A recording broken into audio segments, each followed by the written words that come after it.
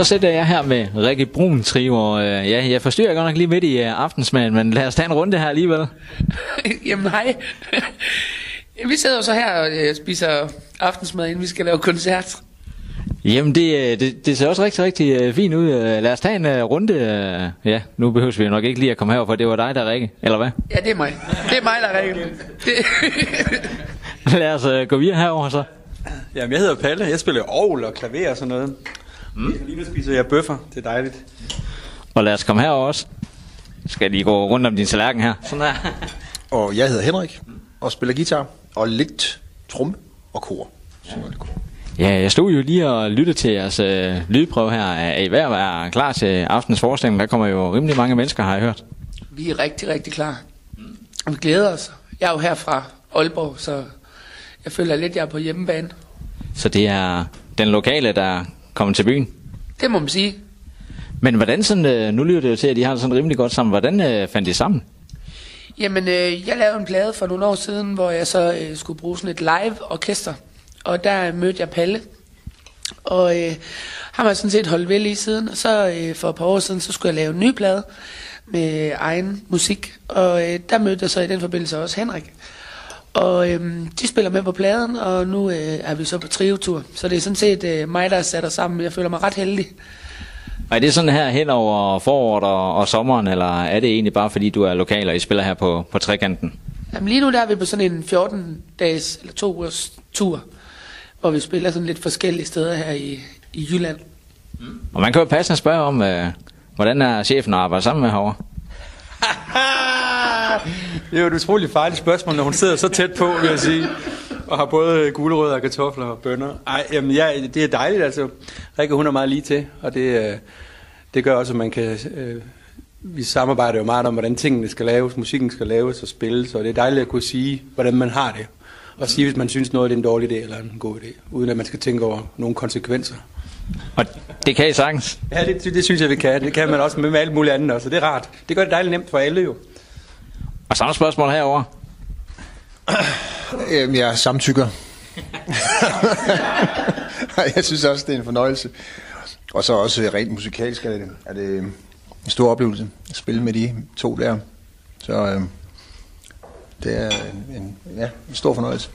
Men øh, jeg, jeg står jo her lidt og tænker på, hvad lavede de før I kom ind i trioen her? Jamen, vi har spillet i mange forskellige ting her over sådan mange år. Jeg spiller også i noget, sådan noget blues-agtigt noget, og, og ja, så har jeg været lærer i en del år siden af, kan man sige. Eller som mit, hoved, mit hovedjob egentlig, ikke? Ja. Jeg spiller bare i min fritid, egentlig. Og her? Jamen, jeg har spillet i mange, mange år så jeg synes, det er egentlig mere... Det er derfor, ikke, derfor Rikke, hun spiller i 14 dage, fordi vi har, vi har ikke tid til at spille mere, fordi vi skal spille med alle mulige andre egentlig, så det er lidt synd, men sådan er det jo. Vi spiller med mange forskellige, og jeg laver ikke andet end at spille. Så det er dejligt. Så det har været helt tilbage fra, øh, fra barns ben af her. Det må vi jo gå over og, og spørge her- om her. Er du, øh, ja, jeg ved ikke, hvad man skal sige. Er du blevet født sådan med, ja, nu skal jeg bare være sanger, eller hvad? Jeg tror allerede fra jeg var ganske lille, der sang min far rigtig meget for mig med Bamses venner. Og så tænkte jeg, det kan også være sådan, man kan leve sit liv. Men øh, nej, jeg tror bare, at nogle ting de kommer til en, fordi det føles naturligt. Men øh, hvad er det for noget musik, I sådan øh, spiller? Nu øh, skal jeg passe på med, hvad jeg siger, men det lyder sådan lidt øh, soulagtigt. Ja, det er måske sådan lidt... Øh, nu er jeg ikke den helt rigtige at spørge om det faktisk, for jeg kan godt køre lidt rundt i det der. Men jeg tror, det er sådan lidt øh, en blanding mellem noget soul og noget folk og noget country. Øhm, og det er jo primært øh, mine sange, som de jo har været med til at, at, at skabe, kan man sige. Øh, og så er det nogle andres sange, som passer rigtig godt ind i det her koncept. Så, øh, men altså, jeg er jo, jeg er jo ung, og i forhold til de to ældre mænd der, så, så det er sådan set dem, der, der har været længst tid i det her univers. Men øh, nu siger du, det er sådan lidt, øh, ja, soul. Kan man ikke få, få det sådan lidt op i tempo, altså? Det tænker du. Jamen, ja, det kan jeg også godt forstå. Øhm, og det, det er der også nogle elementer af. Øh, men jeg tror måske bare, at jeg er sådan en, øh, jeg er sådan en føle-føle pige.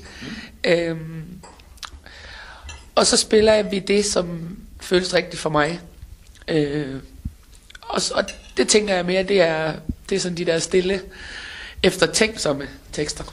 Så det vil sige, hvis øh, de fulde mennesker de kommer væltende ned fra majfesten og ned fra Tivlepladsen, så sætter I fart på? Nej, så tænker jeg, at de røvkæder sig og går hjem igen. Men har I tænkt jer at blive ved i... Øh, ja, selvfølgelig har I det. Øh, det var et dumt spørgsmål, jeg skulle til at stille nu, men stiller det alligevel. Har I tænkt jer at blive ved i mange år her, eller... Altså, det, jeg, jeg har ikke tænkt mig at holde op nogensinde, vil jeg sige. Nej. Det tror jeg ikke, der er nogen af os, der har, fordi det er jo... Jeg tror, at det at spille musik, det er noget, man gør.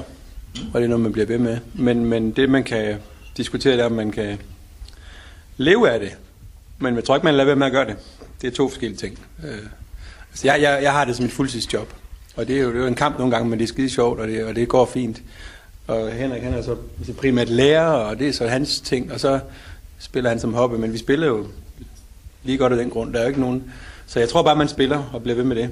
Det, det, det kan man ikke engang... Øh, det tror jeg ikke, man kan lave om på. Og nu, øh, nu svarte han jo lidt for dig her, men jeg synes også, du skal have samme spørgsmål. Jamen, jeg vil sige, at øh, jeg kunne godt tænke mig, at det skulle fylde mere og mere. Det har også sådan i perioder fyldt mere, end det gør nu, men, øh, men jeg stopper aldrig. Altså, jeg stopper heller aldrig. Det kan slet ikke, jeg kan slet ikke forestille mig et liv uden musik, øh, uden at spille musik. Og øh, lad os øh, hoppe herover, inden I skal til at spise vir her. Øh, og hvad med dig? Du får lige det samme spørgsmål som de to her her.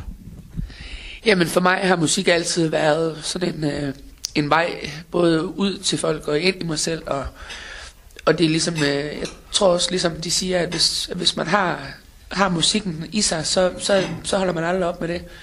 Fordi den giver livet så mange nuancer.